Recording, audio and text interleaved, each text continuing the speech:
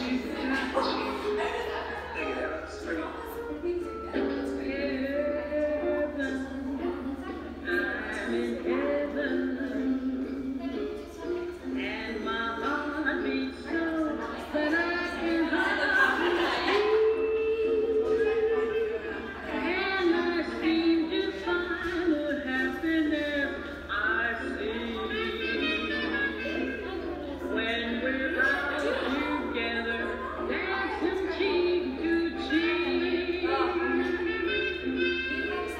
He's gonna